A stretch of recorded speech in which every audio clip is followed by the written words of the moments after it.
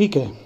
तो आज का हमारा टॉपिक है कोहार्ट स्टडी तो सबसे पहली चीज़ जो हमको कोहार्ट स्टडी में पता होना चाहिए कि भाई क्वेश्चंस क्या आते हैं तो कोहार्ट स्टडी याद रखना कि इस पर लॉन्ग क्वेश्चन भी आता है शॉर्ट नोट भी आता है इनफैक्ट इस पर एम बहुत सारे आते हैं।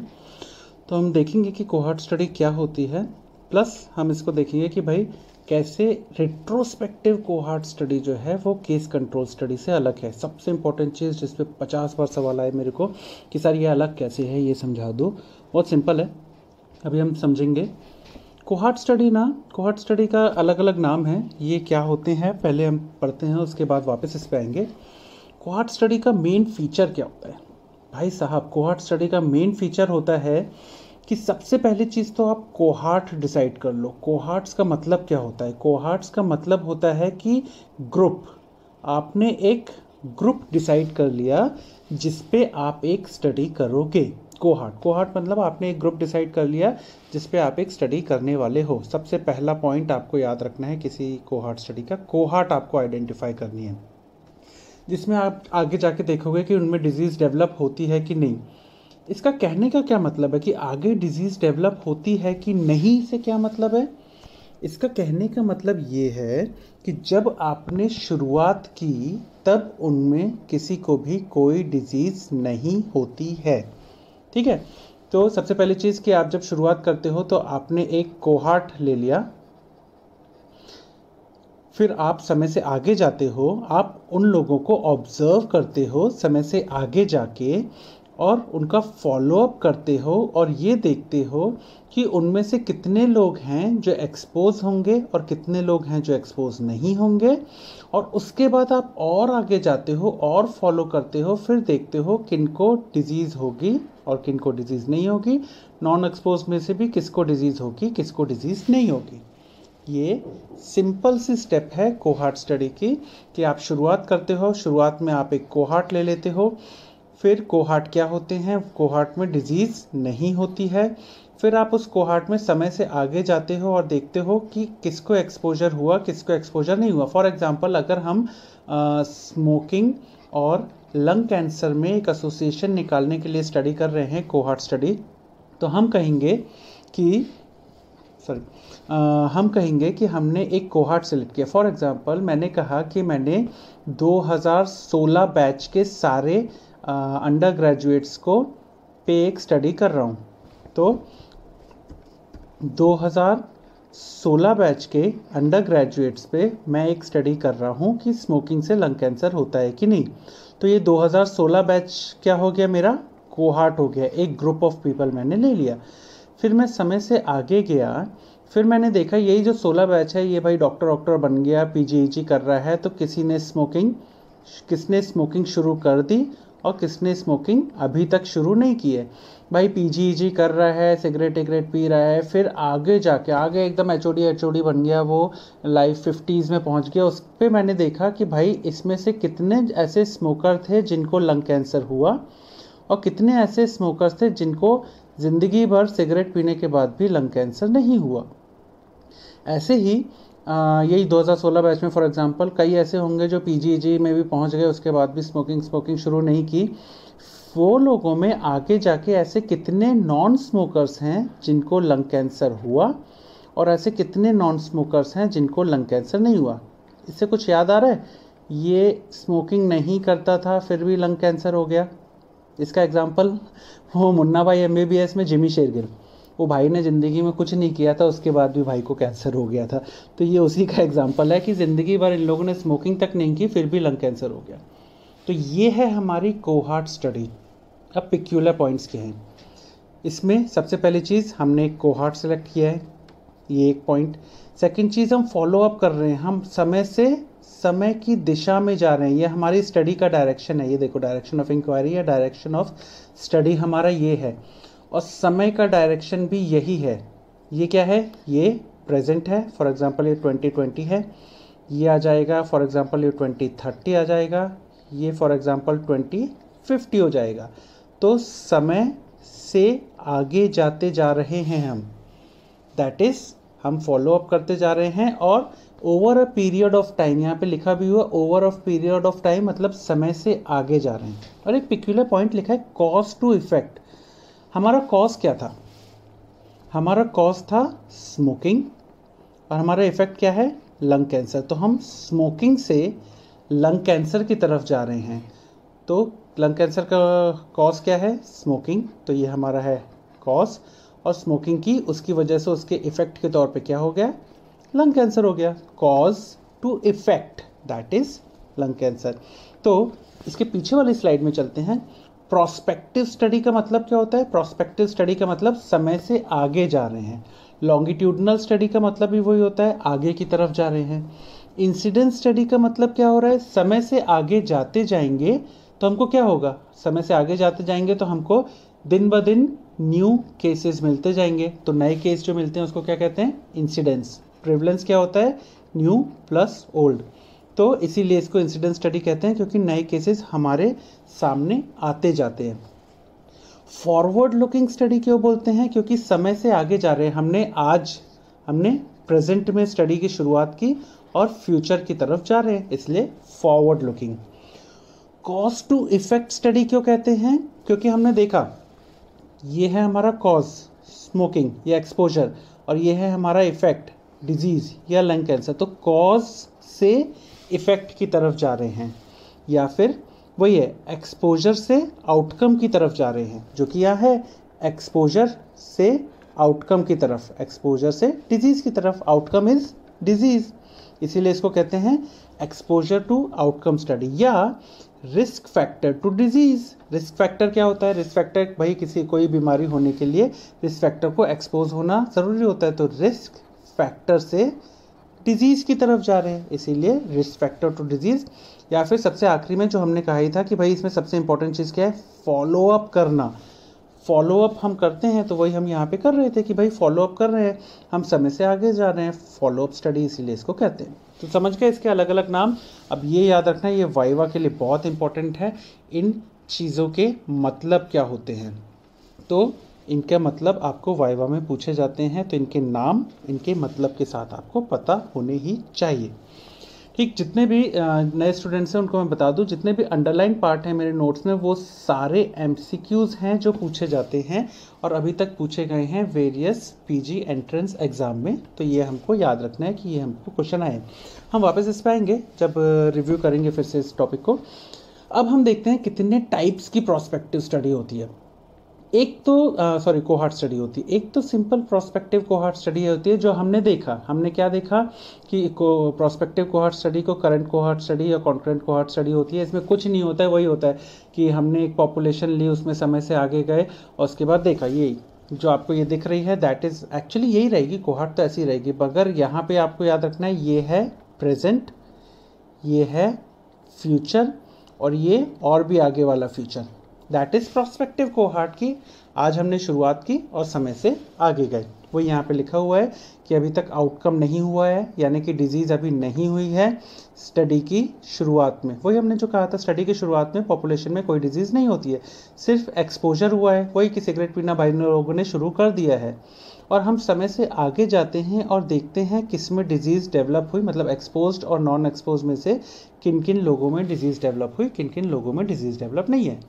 सिंपल, इसी को कहते हैं प्रोस्पेक्टिव कोहार्ट या कॉन्करेंट कोहार्ट या करेंट कोहार्ट जो हमने यहाँ पे देखा था कि भाई हमने आज शुरुआत की पॉपुलेशन से जिनमें कोई डिज़ीज़ नहीं है। फिर हम समय से आगे गए, हमने फॉलोअप किया, हमने देखा किस, कौन स्मोकिंग करता था, कौन स्मोकिंग नहीं करता था। जो स्मोकिंग करता था, उनमें से किसको लंग कैंसर हुआ, किसको लंग कैंसर नहीं हुआ। जो स्मोकिंग नहीं करता था, उनमें से कितनों को लंग कैंसर हुआ। यानी कि वो जिमी शेरगिल कितने थे और कितनों को लंग कैंसर नहीं हुआ। दैट इज़ हमारा सिंपल सा प्रोस्पेक्टिव कोहार्ट इसमें कोई परेशानी नहीं है। यहाँ पे ये याद रखना प्रेजेंट में शुरुआत की फ्यूचर में गए और फिर सुपर फ्यूचर में चले गए। मतलब वो जो बैरी एलन है ना अपना फ्लैश वो उसके जैसे सुपर फ्यूचर में चले गए। तो ये हो गया आपका प्रोस्पेक्टिव कोहार्ट स्टडी बहुत सिंपल है। इसके एग्ज़ाम्पल के तौर पे हम आ, याद रखने के लिए नाम याद रख सकते हैं एटलीस्ट कि भैया फ्रेमिंगम हार्ट स्टडी जो थी फ्रेमिंगम हार्ट स्टडी ये प्रोस्पेक्टिव कोहार्ट स्टडी थी। In fact Framingham cohort study पे अलग से सवाल आता है, इसलिए अपन ने नोट्स में भी और अभी डिस्कस भी करेंगे क्या थी। इसको हम आगे देखेंगे। अब फंसते हैं रिट्रोस्पेक्टिव कोहार्ट और combined retrospective prospective cohort study और इसमें ना लोगों की ऐसी की तैसी हो जाती है, सर रिट्रोस्पेक्टिव कोहार्ट तो केस कंट्रोल स्टडी है, sir retrospective prospective cohort study तो हमारा भेजा कहा गई कुछ समझ नहीं आ रहा, बहुत सिंपल है, मैं समझाता हूँ। बहुत ही सिंपल है। पहले शुरुआत करते हैं रिट्रोस्पेक्टिव कोहार्ट स्टडी समझ लेना रिट्रोस्पेक्टिव कोहार्ट स्टडी का मतलब क्या होता है? सिंपल भाषा में समझ लेना। देखो रिट्रोस्पेक्टिव कोहार्ट स्टडी का मतलब है, यहाँ पे प्रेजेंट ये हमारा प्रेजेंट है, ये हमारा पास्ट है, और ये हमारा फ्यूचर है। ठीक है? प्रेजेंट पास्ट और फ्यूचर अब मैंने क्या किया? मैंने 2016 बैच को नहीं, अभी इंटर्नशिप पीजी पीजी कर रहे होंगे 2010 11 12 2012 बैच पे स्टडी की। 2012 बैच पे मैंने स्टडी करने की सोची। 2012 बैच पे। ठीक है? अब क्या करूँगा मैं? समय से पीछे जाऊँगा टाइम मशीन में बैठ के नहीं, सिर्फ़ जाके उनसे पूछूँगा कि 2012 बैच को मैंने पूछा कि भाई जब तुम यूजी में थे, तब से शुरुआत करते हैं स्टडी की। मैं अभी स्टडी शुरुआत नहीं हुई है। समय से पीछे 2012 यहाँ पे है। मैंने उनसे हिस्ट्री लेना शुरू की। भाई 2012 में जब तुम्हारा एडमिशन हुआ था, तब से अपन बातें करते हैं। बोले, ठीक है सर, करते हैं। अब स्टडी की शुरुआत हुई है, ठीक है? यहाँ से स्टडी की शुरुआत हुई है। यहाँ पे स्टडी शुरू नहीं हुई है, बस समय के पीछे ले जा गया, उनको अपने यादों के झरोकों में ले गया और बोला, अब शुरुआत करते हैं। फिर मैंने उनको यादों के तौर पे पूछा, भाई 2012 में अब ये बताओ भाई कि तुम जैसे जैसे आगे गए, तुमने सिगरेट पीनी कब शुरू की? तो फिर जैसे जैसे आगे गए 2012 बैच हमें बताता रहा कि उनमें से कुछ लोगों ने स्मोकिंग शुरू कर दी और कुछ लोगों ने स्मोकिंग शुरू नहीं की। तो हमने 2012 में गए और 2012 में उनसे पूछा कि आप में से कितनों ने आज तक, ये है 2020 आज। ये है 2020 और ये है 2012 तो 2012 में हमने स्टडी की शुरुआत की। डायरेक्शन ऑफ़ इंक्वायरी हमारा ये है कि अब बताओ 2000 कुछ ने बोला कि सर, हमने तो 2013 से ही सेकेंड ईयर में आए नहीं कि चार सब्जेक्ट देख के ही हमको पढ़ाया हमको सिगरेट चाहिए थी। कुछ ने बोला, सर, हम ना 2016 में जब फाइनल ईयर में थे, तब शुरुआत की। कुछ ने बोला, सर, हम पीजी जब कर रहे थे 2019 में जब पीजी की तैयारी कर रहे थे, तब शुरुआत की स्मोकिंग की। तो सबने बताया अपनी अपनी अपनी अपनी अपनी। तो हमने आज की डेट में आ गए 2020 तक। और हमको ये मिल गया कौन कौन हैं जो स्मोकिंग करते हैं आज की डेट में और कौन कौन हैं जो स्मोकिंग नहीं करते 2000 सॉरी इसको बहुत सारा वो हो गया है। यहाँ से शुरुआत करता हूँ। हमने 2012 बैच से शुरुआत की कि 2012 बैच बताओ, तुम कब कब सिगरेट पीते थे? ये लोग आगे आए। ये अभी है 2020 ठीक है? सिंपल भाषा में ये है 2020 2012 की हमने शुरुआत की, अभी है 2020 हमने उनसे पूछा कि बताओ कब तो उनने कहा कि सर जब 2014 आया था, तब हमने सिगरेट पीनी शुरू कर दी थी कि फाइनल ईयर आ गया, अब तो सिगरेट पीनी पड़ेगी वरना पास नहीं हो पाएँगे। तो सॉरी 2014 में कुछ लोगों ने स्मोकिंग शुरू कर दी थी और कई लोग ऐसे थे दो 2014 आते आते भी स्मोकिंग नहीं की थी। फिर 2020 आते आते इनमें से कईयों को लंग कैंसर हो गया, कईयों को लंग कैंसर नहीं हुआ। जो नॉन स्मोकर्स थे, उसमें से भी कुछ जिमी शेरगल बन गए। 2020 आते आते कि लंग कैंसर हो गया लंग कैंसर नहीं हुआ। अब इसको रिट्रोस्पेक्टिव कोहार्ट क्यों कहा? हमने 2020 में प्रेजेंट है ये। हमने स्टडी कहाँ शुरू की? हम समय से पीछे गए 2012 में। और यहाँ पे हमने स्टडी की, शुरुआत की स्टार्ट किया स्टडी को। अब यहाँ से हमने आगे आए 2014 तक। 2014 तक आते आते कई लोग थे जो स्मोकिंग करने लगे थे, कई लोग थे जो स्मोकिंग नहीं करते थे। फिर 2020 आते आते कई लोगों को लंग कैंसर हो गया था, कई लोगों को लंग कैंसर नहीं हुआ था। अब मुझे बताओ हमारा स्टडी का डायरेक्शन क्या है? ये हम सिर्फ़ यादों के झरोकों में ले गए थे। यहाँ स्टडी नहीं स्टडी यहाँ शुरुआत हुई। तो स्टडी का डायरेक्शन है ऐसा। टाइम का डायरेक्शन भी यही है। ये सबसे पहली प्री रिक्वेस्ट ही कोहार्ट की, कि जो टाइम का डायरेक्शन होता है, जो टाइम का डायरेक्शन होता है, वही हमारी स्टडी का डायरेक्शन होता है। इसीलिए इसको बोलते हैं कोहार्ट स्टडी जो टाइम का डायरेक्शन है, वही स्टडी का डायरेक्शन है कोहार्ट स्टडी में। अब ये कैसे डिफरेंट होती है केस कंट्रोल स्टडी से, ये मैं समझाता हूँ, क्योंकि यही सबको पता करना है। पहले हम करते हैं कोहार्ट स्टडी को। ये हमारा प्रेजेंट है, ये हमारा पास्ट है, ठीक है? हम बताते हैं कोहार्ट स्टडी जो हमने शुरुआत की। हम समय से पीछे गए और यहाँ पे हमने एक कोहार्ट सेलेक्ट किया 2012 में। उसके बाद हम समय से आगे आए 2014 तक आ गए। हमने देखा, उनमें से कुछ स्मोकिंग करते थे, कुछ स्मोकिंग नहीं करते थे। जो स्मोकिंग करते थे, उनमें से कुछ को लंग कैंसर हुआ, कुछ को लंग कैंसर नहीं हुआ। जो स्मोकिंग नहीं करते थे, उनमें से कुछ को लंग कैंसर हुआ और कुछ को लंग कैंसर नहीं हुआ। ये कौन सी स्टडी है? स्टडी की शुरुआत यहाँ हुई, स्टार्ट हुआ, समय से आगे आए हम 2014 में। देखा कौन स्मोकिंग करता है, नहीं करता यानी कि एक्सपोजर हमने चेक कर लिया कि भैया 2014 तक हमने एक्सपोजर वगैरह चेक कर लिया। फिर हम समय से आगे आए और हमने एक्सपोजर हो गया था तो हमने आउटकम देख लिया या डिज़ीज़ देख ली कि किसको लंग कैंसर हुआ, किसको नहीं हुआ। इसमें क्या हो रहा है? हमारा टाइम का डायरेक्शन ऐसा है और हमारी स्टडी का डायरेक्शन भी देखो ऐसा है। ये हमारी स्टडी का डायरेक्शन है और टाइम का डायरेक्शन तो यही है।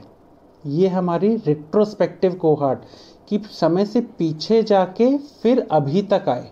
रिट्रोस्पेक्टिव कोहार्ट पास्ट में गए पास्ट से प्रेजेंट में आए। अब ये केस कंट्रोल स्टडी से कैसे अलग है? बहुत सारी चीज़ों में। देखो, यहाँ पे हम फॉलो अप कर रहे हैं। फॉलो मतलब हमने अभी तक इसको फॉलो किया और समय के डायरेक्शन में ही हमारी स्टडी का डायरेक्शन और हमारे समय का डायरेक्शन दोनों एक ही दिशा में है। केस कंट्रोल स्टडी क्या होती है? केस कंट्रोल स्टडी में हमने यहाँ पे एक पॉपुलेशन सिलेक्ट की। हमने 2020 में एक पॉपुलेशन सिलेक्ट की। वहाँ हमने 2012 में सिलेक्ट की थी, याद रखना। इस पॉपुलेशन में से हमने देखा कि कितनों को लंग कैंसर है, कितनों को लंग कैंसर नहीं है। ये हमारे क्या हो गए? ये हमारे हो गए केसेस और ये हमारे क्या हो गए? ये हमारे हो गए कंट्रोल अब जिनको लंग कैंसर था उनसे भी हमने हिस्ट्री ली कि भैया ये बताओ कौन स्मोकिंग करता था कौन स्मोकिंग नहीं करता था? जिनको लंग कैंसर नहीं था उनसे भी हमने पूछा कौन स्मोकिंग करता था और कौन स्मोकिंग नहीं करता था? तो हमने क्या किया? फॉर एग्ज़ाम्पल यहाँ पे इनने बोला कि आ, ये 2012 से ही स्मोकिंग करना शुरू कर दिया था, ठीक है? हमारा स्टडी का डायरेक्शन क्या है? 2020 है, इन्होंने 2012 तक की हिस्ट्री दी, उनमें से कई लोग स्मोकिंग करते थे, कई लोग नहीं करते थे, कई लोग स्मोकिंग जो डिज़ीज़ थे, जिनको लंग कैंसर था वो लोग 2012 में करते थे 2012 में नहीं करते थे, जिनको लंग कैंसर नहीं था, उनमें से कई लोग थे, जो 2012 में स्मोकिंग करते थे और जो 2012 में स्मोकिंग नहीं करते थे। इसमें हमारा स्टडी का डायरेक्शन क्या है? हमने पॉपुलेशन यहाँ पर सिलेक्ट की हमारी स्टडी स्टार्ट हो गई। हम समय से पीछे जा रहे हैं 2012 तक। उसमें हमने पूछा, उसमें से यहाँ पे उन्होंने बोला कि भैया 2014 में कई लोगों को लंग कैंसर हो गया था तो समय से पीछे गए 2014 आया। 2014 में कई लोग सॉरी यहाँ तो हमारे पास 2020 ही है। हम पीछे गए 2014 भी बीच में आया था और 2012 भी आया। हमने क्या किया? स्टडी शुरुआत की 2020 में। समय से पीछे गए 2012 तक इसमें हमने देखा किन किन लोग स्मोकिंग शुरू कर चुके थे किन किन लोगों ने स्मोकिंग शुरू नहीं की थी। अब हमारे पास है स्टडी का डायरेक्शन क्या है? स्टडी का डायरेक्शन है ऐसा। 2020 में हमारे पास लंग कैंसर वाले भी थे लंग कैंसर वाले नहीं थे, और फिर हम समय से पीछे गए। 2012 में स्मोकर्स थे स्मोकर्स नहीं थे। लंग कैंसर जिनको नहीं था, उनमें भी स्मोकर्स थे स्मोकर्स नहीं थे। स्टडी का डायरेक्शन ऐसा है जबकि टाइम का डायरेक्शन हमारा ऐसा है। तो स्टडी का डायरेक्शन कैसा है? इस तरफ़। टाइम का डायरेक्शन इस तरफ़ है। तो आप केस कंट्रोल स्टडी की प्री रिक्वेस्ट स्टडी और टाइम का डायरेक्शन ऑपोजिट होता है। कोहार्ट स्टडी की प्री रिक्वेस्ट स्टडी और टाइम का डायरेक्शन एक साइड होता है। समझ गए? फिर से बताता हूँ। रिट्रोस्पेक्टिव कोहार्ट स्टडी में हम समय से पीछे गए और वहाँ पे हमने एक कोहार्ट सिलेक्ट किया। कोहार्ट सिलेक्ट जब हमने किया, तब क्या इन लोगों को बीमारी थी? नहीं 2012 में कोई बीमारी नहीं थी। याद है, हमने कोहार्ट में पढ़ा ही था कि शुरुआत में स्टडी में कोई बीमारी नहीं होती है। फिर 2012 से ये लोग आगे आए आगे आए। 2014 में कई लोग स्मोकिंग किए, कई लोग स्मोकिंग नहीं किए। फिर 2014 से आगे आते आते स्मोकर्स में से भी कई लोगों को लंग कैंसर हुआ, कई लोगों को नहीं हुआ। नॉन स्मोकर में भी कई लोगों को लंग कैंसर हुआ, कई लोगों को लंग कैंसर नहीं हुआ। 2020 आते आते। स्टडी की शुरुआत हुई 2012 में, आगे चलते गए 2014 आया 2020 आया। ये हमारा स्टडी का डायरेक्शन और टाइम का डायरेक्शन भी यही है। दैट इज़ रिट्रोस्पेक्टिव को। रिट्रोस्पेक्टिव क्यों? शुरुआत हमने समय के पीछे जाके की, इसीलिए रिट्रोस्पेक्टिव और कोहार्ट क्यों? पहली चीज़, हमने एक कोहार्ट सेलेक्ट किया। दूसरी चीज़, जब हमने कोहार्ट सेलेक्ट किया, तब उनको कोई बीमारी नहीं थी। तीसरी चीज़, हमने फॉलोअप किया उनका, समय से आगे आए। और आज तक पहुँचे। रिट्रोस्पेक्टिव कोहार्ट केस कंट्रोल में क्या हुआ? केस कंट्रोल की प्री रिक्वेस्ट थी। जब हमने स्टडी की शुरुआत की थी, तभी हमारे पास केसेस और कंट्रोल दोनों थे। यानी कि तभी हमारे पास डिज़ीज़ हो चुकी थी। जब हमने स्टडी की शुरुआत की तो डिज़ीज़ हो चुकी थी। यहाँ पे हमारे पास केसेस थे कंट्रोल थे। हम समय से पीछे जा रहे हैं। स्टडी की डायरेक्शन ये है। बताओ तुमने कब स्मोकिंग शुरू की थी? किसने बोला 2015 में की थी। किसने बोला होगा 2014 में की होगी। तो स्टडी का डायरेक्शन ऐसा है और टाइम का डायरेक्शन ऐसा है। ठीक? ये था डिफरेंस हमारा केस कंट्रोल स्टडी और रिट्रोस्पेक्टिव कोहार्ट स्टडी में। ये याद रखना रिट्रोस्पेक्टिव कोहार्ट स्टडी में हम समय से पीछे जाते हैं, एक पॉपुलेशन सिलेक्ट करते हैं, उसके बाद आगे आते हैं, बीच में कोई स्मोकिंग करने एक्सपोजर होता है, किसी को एक्सपोजर नहीं होता है, फिर हम प्रेजेंट आते आते, यहाँ पे हमारा प्रेजेंट है, यहाँ पे हमारा पास्ट है प्रेजेंट में अभी लंग कैंसर हो गया लंग कैंसर नहीं हुआ नॉन स्मोकर्स में भी लंग कैंसर हो गया लंग कैंसर नहीं हुआ। ये बहुत ही सिंपल है रिट्रोस्पेक्टिव कोहार्ट रिट्रोस्पेक्टिव कोहार्ट में आपको रिट्रोस्पेक्टिव कोहार्ट में समय से पीछे जाओगे, बीच में कभी एक्सपोजर होगा और फिर आज की डेट में डिज़ीज़ हो चुकी है। अब कंबाइंड रिट्रोस्पेक्टिव प्रोस्पेक्टिव कोहार्ट क्या होता है? ये थोड़ा सा अलग है रिट्रोस्पेक्टिव कोहार्ट से। कैसे? हमने क्या किया? रिट्रोस्पेक्टिव कोहार्ट क्या था? रिट्रोस्पेक्टिव कोहार्ट था, ये था 2020 जब डिज़ीज़ हो चुकी थी। ये था 2012 जब हमने कोहार्ट सेलेक्ट किया था। ये था 2014 जब एक्सपोजर हुआ था। ऐसी हमारी स्टडी का डायरेक्शन था। ठीक है? अब हमारा नई retrospective prospective cohort retrospective prospective cohort में ना हम यहाँ खड़े हैं। 2020 यहाँ पे है। तो हम, फिर वही है, हम समय से पीछे गए। हमने कोई भी ईयर ले सकते हो। हमने वही लिया। 2012 में एक कोहार्ट सेलेक्ट किया। उसके बाद हम समय से आगे आते गए। आज की डेट तक आए। आज की डेट में देखा किसको एक्सपोजर है और किसको एक्सपोजर नहीं है। प्रेजेंट में हम बस इतना ही पहुँचे हैं, कितना एक्सपोजर है, कितना एक्सपोजर नहीं है। और फिर हम समय से आगे जा रहे हैं। 2030 पे पहुँच गए हम। और 2030 में आए तो हमने देखा कि जिसको एक्सपोजर था, उनमें से कितों को डिज़ीज़ है कितों को डिज़ीज़ नहीं है। और 2020 में जो नॉन एक्सपोज थे, उनमें से 2030 तक कितों को डिज़ीज़ डेवलप होगी, यानी कितने जिमी शेरगिल बनेंगे और कितों को डिज़ीज़ नहीं होगी। रिट्रोस्पेक्टिव प्रोस्पेक्टिव को हार्ट क्यों पहली चीज़ तो हम समय से पीछे गए, इसलिए रिट्रोस्पेक्टिव आगे आए, अभी तक पहुँच गए, यहाँ तक की तो हमारी क्या थी? यहाँ तक, याद है हमने पढ़ा था, इसको कहते हैं रिट्रोस्पेक्टिव कोहार्ट प्रोस्पेक्टिव क्यों लगा रहे हैं इसमें? क्योंकि आज के बाद हम आगे भी जाएँगे। फॉलोअप भी होगा। तो फॉलोअप हम समय से आगे जा रहे हैं, इसलिए ये प्रोस्पेक्टिव इतना पार्ट रिट्रोस्पेक्टिव इतना पार्ट प्रोस्पेक्टिव 2012 से 2020 तक आए दैट इज़ रिट्रोस्पेक्टिव 2020 से 2030 तक जा रहे हैं दैट इज़ प्रोस्पेक्टिव इसीलिए इसको कंबाइंड बोलते हैं रिट्रोस्पेक्टिव प्रोस्पेक्टिव कोहार्ट समझ गए? बस थोड़ा सा डिफरेंस है समझने में।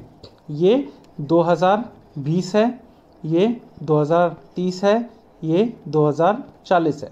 क्या हो जाएगा? प्रोस्पेक्टिव कोहार्ट आज शुरुआत हुई, समय से आगे गए 2030 में एक्सपोजर हुआ, समय से आगे गए 2040 में डिज़ीज़ हो गई। प्रोस्पेक्टिव कोहार्ट उसके बाद ये फॉर एग्ज़ाम्पल यहाँ पे हमने देखा कि भाई ये 2020 है, ये 2012 है। यहाँ से शुरुआत हुई 2014 में एक्सपोजर हुआ और 2020 में डिज़ीज़ हो गई। ये क्या हुआ? रेट्रोस्पेक्टिव कोहार्ट समय से पीछे गए और आज की डेट तक डिज़ीज़ हो चुकी है। प्रोस्पेक्ट रेट्रोस्पेक्टिव प्रोस्पेक्टिव कोहार्ट क्या है? आज बीच में रहेगा 2020 तो 2012 से हमने शुरुआत की, आज तक आए, देखा कितों को एक्सपोजर है कितों को एक्सपोजर नहीं है, आज से आगे गए 2030 तक उसमें 2030 में देखा कितने जो एक्सपोज थे, उनमें से कितों को डिज़ीज़ हुई कितों को नहीं हुई, जो नॉन एक्सपोज थे कितों को ही कितों को नहीं हुई। रिट्रोस्पेक्टिव प्रोस्पेक्टिव कोहर्ट ये मतलब समझ लेना बहुत इंपॉर्टेंट होता है। वही चीज़ें यहाँ पे लिखी हुई हैं। एग्ज़ाम्पल के तौर पे लिखा हुआ है कि भाई फीटल मॉनिटरिंग करते हैं और न्यूनेटल डेथ के हिसाब से इस पर भी आपको एग्ज़ाम्पल आया हुआ है। इनफैक्ट कोड ब्राउन या डॉल स्टडी जो थी एटलीस्ट इनका नाम याद रख लेना।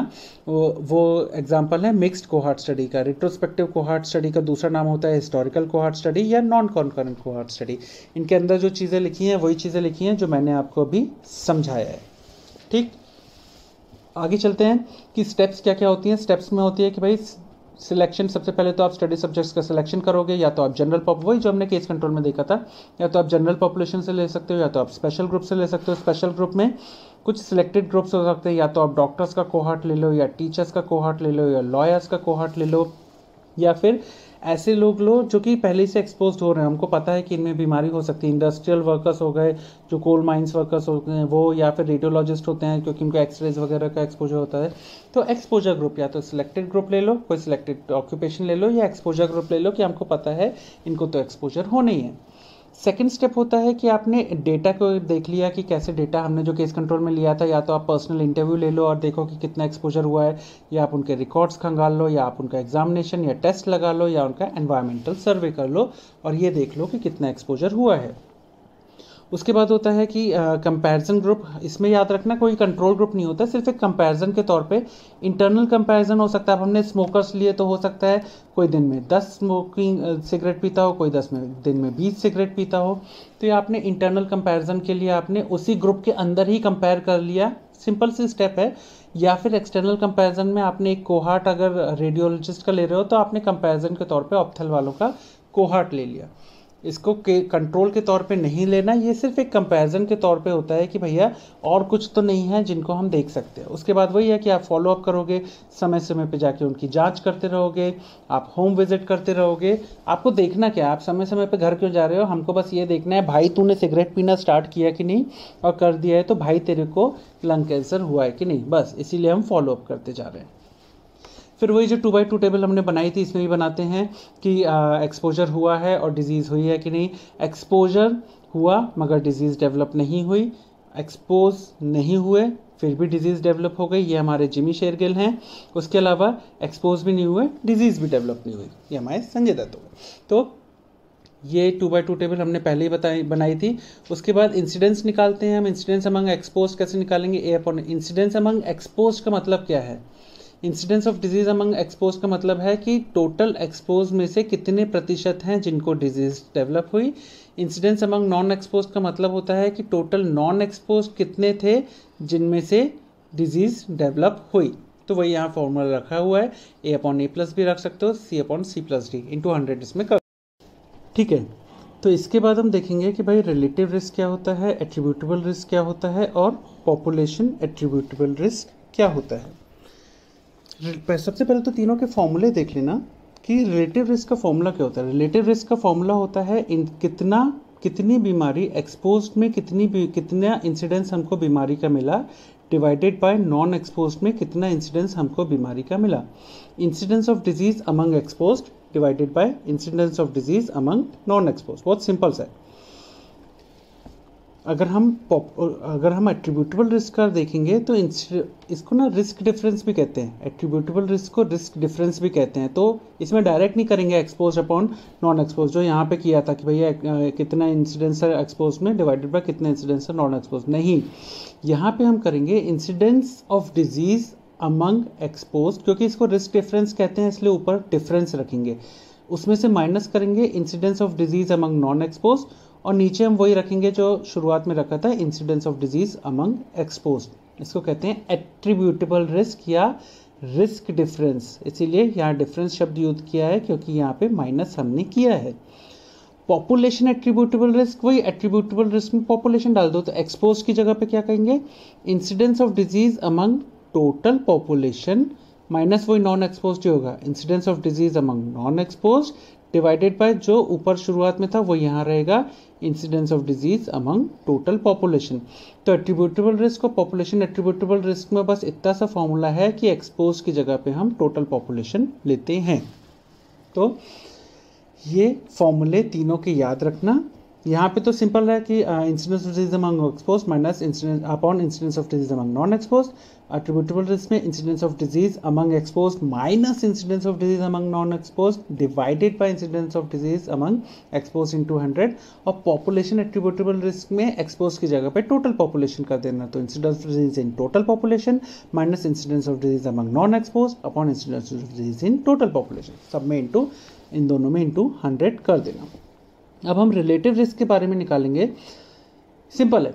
आपने क्या कर रहे हो यहाँ पे? ऊपर एक्सपोज में कितना इंसिडेंस था बीमारी का? नीचे नॉन एक्सपोज में कितना इंसिडेंस था बीमारी का?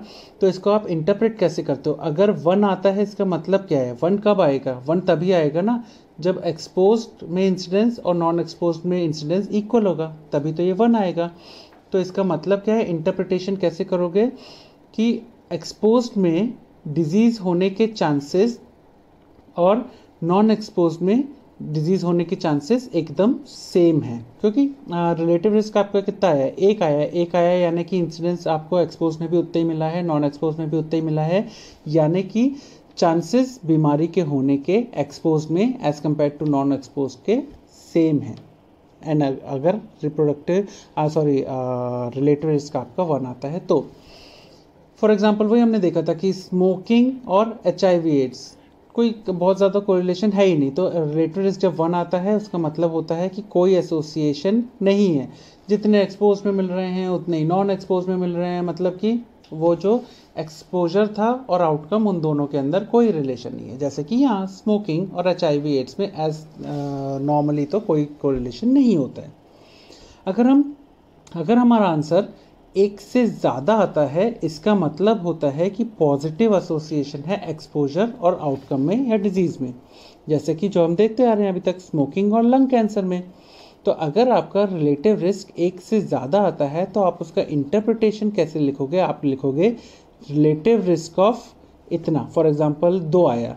तो two indicates that incidence of disease is मतलब कि यह इंसिडेंस जो था एक्सपोज में, वो दुगना ज़्यादा था एक्सपोज में as compare to non expose तो इसलिए बहुत सिंपल सी भाषा में यहाँ पे मैंने डैश बना दिया, या ब्लैंक छोड़ दिया है कि जो भी आपका आंसर आएगा उसको यहाँ डाल दो। अगर थ्री आता है तो रिलेटेड रिस्क थ्री का मतलब होता है तीन गुना ज़्यादा चांसेस हैं एक्सपोज में बीमारी को होने के as compare to non expose simple अगर रिलेटिव रिस्क एक से कम आता है रिलेटिव रिस्क एक से कम कब आएगा? रिस्क एक से कम तब आएगा जब नॉन एक्सपोज में ज़्यादा बीमारी मिलेगी एज़ कंपेयर टू एक्सपोज तभी तो रिलेटिव रिस्क एक से कम आएगा। तो जब ऐसा होता है, उसका मतलब होता है कि नेगेटिव एसोसिएशन है। मतलब जितना ज़्यादा एक्सपोजर होगा, उतनी कम डिज़ीज़ होगी। वही लिखा हुआ है, जैसे कि विटामिन ए जितना ज़्यादा लोगे, उतना कम आपको एपिथेलियल कैंसर होगा। वही इंटरप्रिटेशन में वही लिखा है कि chances of disease of development is less among expose as compare to non expose कि अगर इस चीज़ का ज़्यादातर ये ड्रग्स वगैरह में वैक्सीन वगैरह में हमको नेगेटिव एसोसिएशन मिलता है कि जिसने अगर विटामिन ए ज़्यादा ली तो एपिथीलियल कैंसर कम होगा। वही है relative risk less than one का मतलब होता है नेगेटिव एसोसिएशन है प्रोटेक्टिव इफ़ेक्ट ज़्यादा होता है। फॉर एग्जांपल आपका रिलेटिव रिस्क एक से कम आया, यानी कि अगर पॉइंट टू फाइव आया, यानी कि जो बचा हुआ पचहत्तर परसेंट रिडक्शन आपको मिल, मिलेगा, जो एक्सपोज है, उनमें पचहत्तर प्रतिशत कम बीमारी मिलेगी as compare to non expose में। ऐसा इंटरप्रिटेशन आप लिख सकते हो। तो ये बहुत इंपॉर्टेंट है। जब आपको रिलेटिव रिस्क को इंटरप्रेट करने को बोला जाता है कि अगर एक आता है तो कोई एसोसिएशन नहीं, एक से ज़्यादा आता है तो पॉजिटिव एसोसिएशन है, एक से कम आता है तो नेगेटिव एसोसिएशन है। इसको कैसे शो करोगे कि अगर एक्सपोजर बढ़ाओगे तो आउटकम पे कोई इफ़ेक्ट नहीं पड़ेगा। यहाँ पे जितना एक्सपोजर बढ़ाओगे उतना ही आपको आउटकम भी बढ़ता जाएगा। यहाँ पे क्या होगा? एक्सपोजर जितना बढ़ाओगे आउटकम उतना कम होगा। तो ये था आपका रिलेटिव रिस्क जिसको कि रिस्क रेशो भी बोलते हैं। रेशो क्यों? रिस्क रेशो क्यों? क्योंकि रेशो ही तो निकाल रहे हैं। Incidence among of disease among expose upon incidence of disease among non expose इसको रिस्क रेशो बोलते हैं। और इसको रिस्क डिफरेंस क्यों बोलते हैं? रिस्क डिफरेंस वही, क्योंकि डिफरेंस निकाल रहे हो कि आपने ट्रिब्यूटेबल रिस्क में इंसिडेंस ऑफ़ डिज़ीज़ निकाला एक्सपोज में उसको माइनस किया इंसिडेंस ऑफ़ डिज़ीज़ कितना था नॉन एक्सपोज में, और डिवाइड कर दिया incident of disease among expose में। तो आपका निकल आएगा एट्रीब्यूटेबल रिस्क कितना है? तो जितना भी आया, आपका अगर दो आता है तो आप कहोगे कि इतने गुना एट्रीब्यूट इतना एट्रीब्यूट किया था एक्सपोजर ने बीमारी को होने में। इसलिए इसको रिस्क डिफरेंस कहते हैं एक्सपोज और नॉन एक्सपोज में। इसको हम एट्रीब्यू एब्सोल्यूट रिस्क या एक्सेस रिस्क और या रिस्क डिफरेंस भी कहते हैं। इस पर आपको प्रीपीजी में क्वेश्चन आया हुआ है। ठीक है पब्लिक हेल्थ प्रोग्राम प्रॉब्लम कितने आपने रिजॉल्व किया है, कितनी बीमारी फैली हुई है, वो आपको बताता है ये। और मोस्ट अप्रोप्रिएट मेथड होते हैं कि भाई आप रिस्क फैक्टर्स के बारे में पता लगा पाओ कि कितना उनने कंट्रीब्यूट किया किसी बीमारी को होने के लिए, या एटियोलॉजिकल रोल या फैक्टर्स कितने रिस्पॉन्सिबल थे किसी बीमारी को होने में, कितना एट्रीब्यूट किया उन रिस्क फैक्टर्स ने या उन पॉजिटिव फैक्टर्स ने बीमारी को होने में। पॉपुलेशन एट्रीब्यूटेबल रिस्क वही है कि भाई टोटल पॉपुलेशन में कितना इंसिडेंस है डिज़ीज़ का माइनस नॉन एक्सपोज में कितना इंसिडेंस है डिज़ीज़ का डिवाइडेड बाय टोटल पॉपुलेशन में कितना इंसिडेंस है डिज़ीज़ का। वही हंड्रेड से इंटू कर दो। अब इसका इंटरप्रिटेशन क्या होगा कि अगर आपने जो रिस्क फैक्टर था उसको मॉडिफाई कर दिया होता या एलिमिनेट कर दिया होता, जैसे स्मोकिंग को अगर आपने बंद करवा दिया होता तो फॉर एग्ज़ाम्पल यहाँ थ्री थ्री आता है तो तीन गुना चांसेस हैं रिडक्शन मतलब कि साल में रिडक्शन ऑफ़ इंसिडेंस के टोटल पॉपुलेशन में। तो ये आपको यही बताता है कि अगर आप रिस्क फैक्टर को कितना चांसेस है कि कितने गुना कम कर देगा बीमारी को होने में, अगर आप रिस्क फैक्टर को हटा देते हो या एलिमिनेट कर देते हो तो। तो ये नेशनल पॉपुलेशन पॉलिसी में इंपॉर्टेंट होता है, ये आपको एमसीक्यू आया भी हुआ है। तो इंटरप्रिटेशन याद रखना कि अगर आप रिस्क फैक्टर को मॉडिफाई या एलिमिनेट कर देते हो तो इतने गुना चांसेस हैं कि बीमारी का इंसिडेंस कम हो जाएगा उस पॉपुलेशन में. That is population attributable risk अब एक जो गलती करते हो ना आप लोग, वो क्या करते हो? जब हमने पूछा कि इंसिडेंस ऑफ़ डिज़ीज़ अमंग मैंने बोला कि भाई रिलेटिव रिस्क निकालो. रिलेटिव रिस्क निकालते हो तो उसका मतलब होता है कि incidence of disease among exposed upon incidence of disease among non expose यही है। तो आप क्या करते हो? आप निकाल देते हो कि डिज़ीज़ एक्सपोज में कितनी थी? कितनी डिज़ीज़ थी? फॉर एग्ज़ाम्पल आप ए अपॉन सी कर देते हो। ऐसा हमको नहीं करना है। फॉर एग्ज़ाम्पल मैंने कहा कि सौ लोगों, हम, मैंने कहा कि सौ लोग, सौ लोगों पे मैंने एक स्टडी की सौ लोगों में से साठ लोगों में बीमारी मिली, चालीस में बीमारी सॉरी सौ लोगों पे मैंने स्टडी की, उनमें से साठ लोगों पे मेरे को बीमारी मिली और चालीस लोगों में बीमारी नहीं मिली। इन साठ लोगों में से चालीस लोग ऐसे थे जो सिगरेट पीते थे और बीस लोग ऐसे थे जो सिगरेट नहीं पीते थे, फिर भी बीमारी हो गई। इन चालीस लोगों में से तीस लोग ऐसे थे जो सिगरेट नहीं पीते थे और उनको बीमारी भी नहीं हुई और सिर्फ़ दस लोग ऐसे थे जो सिगरेट पीते थे, जो सिगरेट पीते थे, फिर भी उनको बीमारी नहीं हुई। तो टोटल पचास लोग ऐसे थे जो सिगरेट पीते थे और पचास लोग ऐसे थे जो सिगरेट नहीं पीते थे। ऐसा आपको क्वेश्चन आता है। तो मैं बोलूँगा, भाई रिलेटिव रिस्क निकालो तो आप कैसे निकालोगे? रिलेटिव रिस्क मैंने बोला तो आप बोलोगे incidence of disease among expose upon incidence of disease among non expose तो आप क्या करते हो कि एक्सपोज कितने हैं? चालीस डिवाइडेड बाय डिज़ीज़ जो नॉन एक्सपोज थे वो कितने हैं? बीस। तो आप निकाल देते हो चालीस अपॉन बीस। नहीं, ऐसे नहीं निकालना है।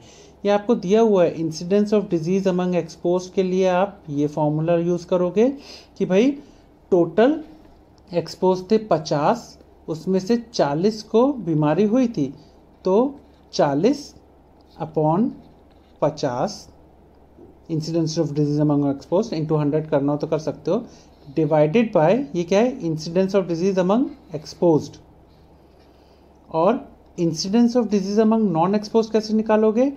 टोटल नॉन एक्सपोज में से कितनों को बीमारी हुई? ये लिखा हुआ है among non expose C upon C plus D तो incidence of disease among non expose में क्या आएगा?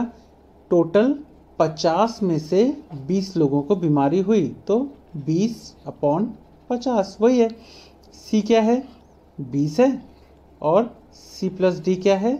पचास है। तो इन इंटू हंड्रेड ये एक्चुअली में रिलेटिव रिस्क ऐसे निकालते हैं। ऐसे नहीं कि आपने 40 को 20 से डिवाइड कर दिया, ऐसे नहीं निकालना है। आपको incidence of disease among expose निकालना है divided by incidence of disease among non expose करना है। ऐसे करना है डायरेक्ट नहीं लिख देना एक्सपोज नॉन एक्सपोज यही गलती आप न्यूमेरिकल्स में करते हो। हम जब न्यूमेरिकल की क्लास लेंगे तो इसको भी डिस्कस करेंगे। वही सारी वैल्यू यहाँ भी निकालनी है expose minus non expose incidence और और हाँ टोटल पॉपुलेशन क्या हो जाएगा? टोटल पॉपुलेशन में incidence of disease in total population मतलब कि आपका टोटल पॉपुलेशन में कितने बीमार हैं? डिवाइडेड बाय टोटल कितने स्टडी पार्टिसिपेंट मैंने कहा था कि 100 में से अगर 60 को बीमारी है तो incidence of disease among total population क्या हो जाएगा? 60 डिवाइडेड बाय 100 इंटू हंड्रेड तो ऐसे आप लिखोगे incidence of disease among expose incidence of disease among non expose और incidence of disease in total population तो ये जब आप न्यूमेरिकल करते हो तो ये छोटी छोटी गलतियाँ करते हो आप कि आप direct two by two table से वैल्यू रख देते हो। नहीं direct two by two table से वैल्यू नहीं रखनी है। आपको इंसिडेंस निकाल के उसकी वैल्यू रखनी है। जब हम न्यूमेरिकल करेंगे तो आपको और क्लियर हो जाएगा। उसके बाद एडवांटेजेस में क्या क्या है? इसमें हम इंसिडेंस निकाल सकते हैं। इंसिडेंस क्यों निकाल सकते हैं? भाई, हमने आज स्टडीज़ की शुरुआत की, हम आगे गए, हमने देखा एक्सपोजर हुआ है एक्सपोजर नहीं हुआ है। आगे गए, देखा कि लंग कैंसर हुआ लंग कैंसर नहीं हुआ। आगे गए, देखा लंग कैंसर हुआ लंग कैंसर तो हमको नए केसेस मिल रहे हैं। इंसिडेंस का मतलब ही होता है लंग केस नए केसेस और अगर हम इंसिडेंस निकाल रहे हैं तो रिलेटिव रिस्क भी निकाल सकते हैं, क्योंकि रिलेटिव रिस्क का फॉर्मूला ही होता है incidence of disease among expose upon incidence of disease among non expose इसका और क्या एडवांटेजेस होते हैं कि हम नेचुरल हिस्ट्री एक बीमारी की बता सकते हैं? भाई, हम इतना लंबा समय तक फॉलोअप करते जा रहे हैं, करते जा रहे हैं तो हमको नेचुरल हिस्ट्री डिज़ीज़ की पता ही चल जाती है कि किन किन वजहों से बीमारी होती है क्या क्या कॉजेज़ हैं।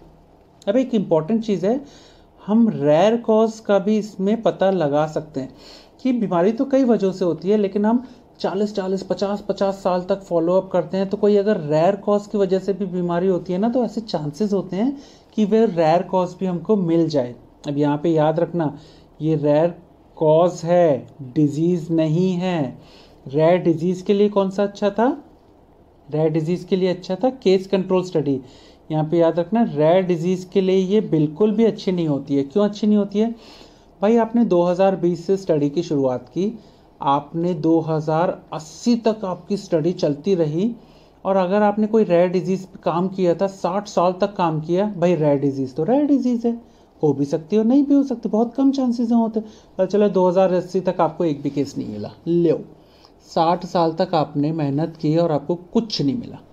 तो इसीलिए रेयर डिज़ीज़ के लिए कोहार्ट स्टडी अच्छी नहीं होती है। रेयर डिज़ीज़ के लिए कौन सी अच्छी होती है? रेयर डिज़ीज़ के लिए केस कंट्रोल स्टडी बेस्ट होती है। क्यों?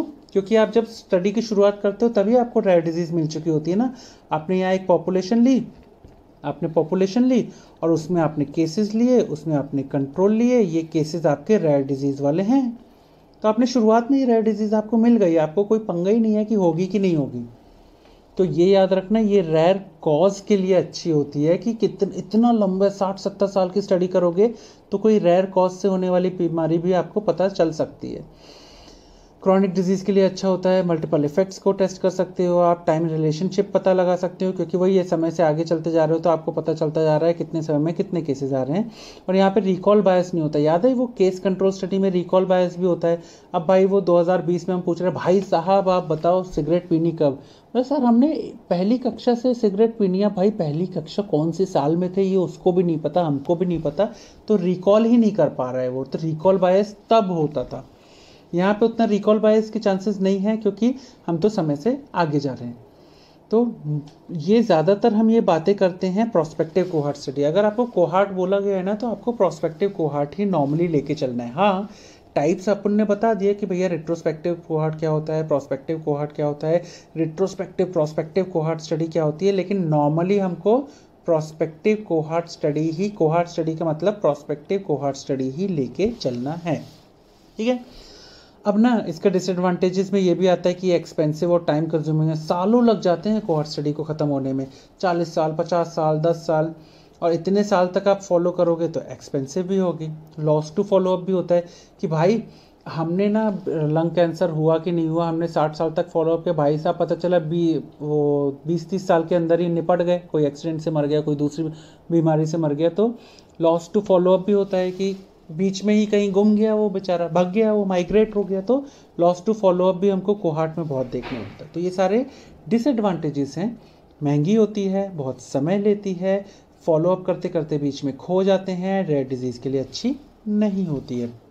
तो these are advantages and disadvantages of cohort study फिर फ्रेमिंगम हमने पढ़ा था कि प्रोस्पेक्टिव कोहार्ट थी तो इस पर अलग से आपको शॉर्ट नोट आता है तो आपको फ्रेमिंगम कोहार्ट स्टडी, बस एक नज़र मार लेते हैं क्या होता है। वही है कि भाई कोहार्ट स्टडी समय से आगे जाते हैं, और क्या हुआ था फ्रमिंगम में हमने की थी 1948 में, उसमें हमने क्या निकाला था, उसमें हमने रिलेशनशिप निकाला था, रिस्क फैक्टर्स और कार्डियोवास्कुलर डिज़ीज़ रिस्क फैक्टर में। क्या क्या लिया था? सीरम, कोलेस्ट्रॉल, बीपी, वेट और स्मोकिंग लिया था तो समय से आगे गए थे और देखा था कि बीमारी हुई कि नहीं। एज ग्रुप कितना लिया था? तीस से बासठ साल, sample size five one two seven था। मल्टीपल एक्सपोजर हमने देखे थे और ये हमने एडवांटेज में देखा भी था कि मल्टीपल इफ़ेक्ट आप पता लगा सकते हो। फॉलोअप कब तक किया था आपने? हर दो साल में आपने फॉलोअप किया था, बीस साल तक उनको फॉलो किया था और हर दो साल में आप जाके लोगों से मिले थे, भैया, आपका कोलेस्ट्रॉल इतना था बीपी इतना था वेट इतना था स्मोकिंग करते थे, बीमारी हुई बीमारी हुई बीमारी हुई बीमारी हुई। हर दो साल में जाके टच करते थे कि, भैया, हुई कि नहीं हुई, बता दो, हो गई हो तो मज़ा आ जाएगा। तो ये आप करते थे कि फॉलोअप आपने किया।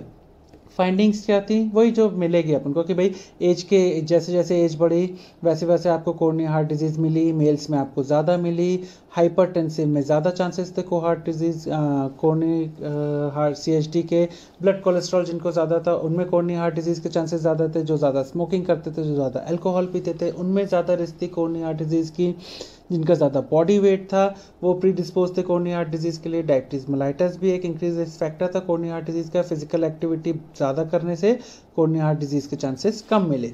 ये आपको, ये जो 20 साल इनने स्टडी की थी, उनकी फाइंडिंग्स थी। तो ये सब हमने इतनी माथा पच्ची क्यों की? क्योंकि फ्रेमिंगम हार्ट स्टडी पे कभी कभी थ्योरी में भी क्वेश्चन आ जाता है। एमसीक्यू सिर्फ़ एक आया है कि फ्रेमिंगम हार्ट स्टडी किसका एग्ज़ाम्पल है? तो ये कोहार्ट स्टडी का एग्ज़ाम्पल है। तो हमने क्या शुरुआत की थी? हमने पढ़ा था, शुरू से पढ़ा था हमने कोहार्ट स्टडी तो कोहार्ट स्टडी की अगर मैं बात करूँ तो आपको लॉन्ग क्वेश्चन भी आता है, आपको शॉर्ट नोट भी आता है, और आपके इसके अंदर भी आपको वेरी शॉर्ट नोट के तौर पे आपको बोल दिया जाता है डिफाइंड रिट्रोस्पेक्टिव कोहार्ट स्टडी या defined retrospective prospective cohort study तो आपको अंदर भी आ सकता है। याद रखना कि इसमें प्रैक्टिकल में न्यूमेरिकल भी आता है आपको तो न्यूमेरिकल की प्रैक्टिस हम अलग से करेंगे तो न्यूमेरिकल भी आता है। अगर मैं बात करूँ वाइवा की तो वाइवा में आपको ये अलग अलग नाम क्या हैं, ये पूछे जाते हैं और वाइवा में आपको पूछा जाता है कि इनके मतलब समझाओ। अगर मैं स्लाइड की बात करूँ तो आपसे वाइवा में डायरेक्ट बोल दिया जाता है कि भाई समझाओ कि कोहार्ट स्टडी क्या होता है तो ये डायग्राम आपको आना चाहिए। एम आपको पूछे जाते हैं अलग अलग पीजी एंट्रेंस एग्ज़ाम में तो आपको जितने भी अंडरलाइन पार्ट हैं, सभी एमसीक्यू आए हुए हैं। तो आपको ये भी आया हुआ है कि कोहार्ट की शुरुआत में डिज़ीज़ नहीं होती है फॉलोअप करते हैं कॉस्ट टू इफ़ेक्ट की तरफ़ जाती है। उसके बाद आपसे वाइवा में पूछ लिया जाता है कि प्रोस्पेक्टिव समझाओ रिट्रोस्पेक्टिव समझाओ और कंबाइंड प्रोस्पेक्टिव रिट्रोस्पेक्टिव समझाओ तो आपको पता होना चाहिए। वाइवा में आपसे पूछ लिया जाता है कि फ्रेमिंगम कोहार्ट स्टडी का एग्ज़ाम्पल बताओ या कंबाइंड रिट्रोस्पेक्टिव कोहार्ट स्टडी का रिट्रोस्पेक्टिव प्रोस्पेक्टिव कोहार्ट स्टडी का एग्जांपल बताओ या रिट्रोस्पेक्टिव कोहार्ट स्टडी का एग्जांपल बताओ तो वाइवा के लिए आपको ये पता होना चाहिए और इनको समझाते आना चाहिए। अगर मैं एमसीक्यू की बात करूँ तो आपको ये पूछा जा चुका है एमसीक्यू में कि भाई कॉन्करेंट कोहार्ट स्टडी कौन सी होती है? तो that is prospective cohort study आपको नॉन कॉन्करेंट कोहार्ट स्टडी का पूछा जा चुका है तो that is retrospective cohort study उसके बाद आपको एक एग्ज़ाम्पल दिया गया था नर्सेज वाला तो उसमें आपको एमसीक्यू आया था कि ये किसका एग्ज़ाम्पल है? That was of retrospective cohort study उसके अलावा स्टेप्स हैं तो स्टेप्स में आपको थ्योरी के लिए पता होनी चाहिए कि स्टेप्स क्या और वाइवा में आपसे बोल दिया जाता है कि भाई स्टेप्स बताओ कौन कौन सी होती हैं तो आपको स्टेप्स पता होना चाहिए कि पहले स्टडी सब्जेक्ट को सिलेक्ट करोगे, फिर डेट ऑफ़ एक्सपोजर लोगे, उसके बाद कंपैरिजन ग्रुप देखोगे, उसके बाद फॉलो अप करोगे, और उसके बाद एनालिसिस करोगे। तो ये आपको वाइवा में तो पूछा ही जाता है थ्योरी में तो आपको लिखना ही है। उसके बाद टू बाई टू टेबल आपको कई बार ये याद रखना कि ये आपको न्यूमेरिकल के लिए बहुत ज़रूरी है कि ये आप टू बाई टू टेबल आपको बनानी, आनी चाहिए। न्यूमेरिकल के लिए बहुत ज़रूरी है क्योंकि प्रैक्टिकल में एपिडेमियोलॉजी पे पाँच नंबर का क्वेश्चन आता है स्टैट पे पाँच नंबर का क्वेश्चन आता है तो एपिडेमियोलॉजी में आपको अगर कोहार्ट स्टडी पे सवाल आया है तो पूछा जा सकता है। उसके बाद न्यूमेरिकल के लिए आपको ये फॉर्मुलेज याद होने चाहिए। वाइवा की बात करूँ अगर मैं तो वाइवा में हाँ वेरी शॉर्ट नोट आपको आ सकता है रिलेटिव रिस्क पे तो आपको रिलेटिव रिस्क का फॉर्मूला पता होना चाहिए और उसके इंटरप्रिटेशन पता होना चाहिए। वाइवा में आपसे पूछ लिया जाता है कि रिलेटिव रिस्क का फॉर्मूला बताओ और रिलेटिव रिस्क के वेरियस इंटरप्रिटेशन बताओ। तो वाइवा के लिए आपको इम्पोर्टेंट है, लेकिन न्यूमेरिकल के लिए तो ये बहुत ही ज़्यादा इंपॉर्टेंट है कि आपको फॉर्मूला पता होना चाहिए और इंटरप्रिटेशन आना ही चाहिए। उसके बाद एट्रीब्यूटेबल रिस्क और पॉपुलेशन एट्रीब्यूटेबल रिस्क में भी वाइवा और न्यूमेरिकल्स के लिए ये बहुत ही इंपॉर्टेंट है। वाइवा न्यूमेरिकल दोनों पे आपको क्वेश्चन आता है। वाइवा में आपसे फॉर्मूले पूछे जाते हैं। न्यूमेरिकल में आपको फॉर्मूला और इंटरप्रिटेशन करना आना ही चाहिए।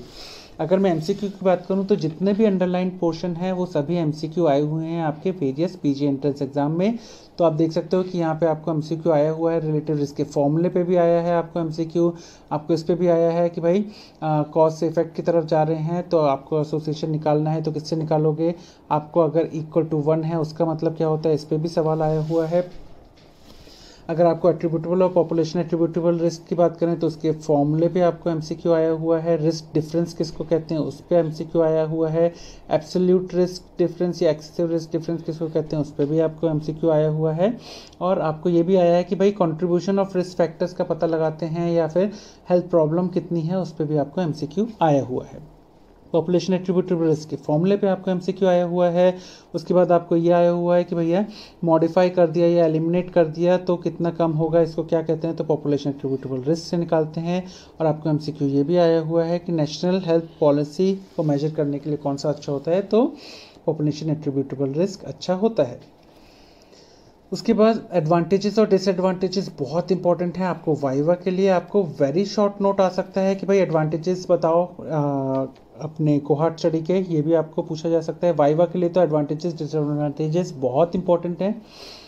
उसके बाद आपको एमसीक्यू में पूछा जाता पूछा गया है कि नेचुरल हिस्ट्री ऑफ़ डिज़ीज़ किससे पता लगाओगे? कोहार्ट स्टडी से। रेयर कॉज के लिए कोहार्ट स्टडी अच्छी है क्रॉनिक डिज़ीज़ के लिए कोहार्ट स्टडी अच्छी है किसके लिए अच्छी नहीं है कोहार्ट स्टडी रेयर डिज़ीज़ के लिए अच्छी नहीं है, इसके लिए केस कंट्रोल स्टडी अच्छी होती है।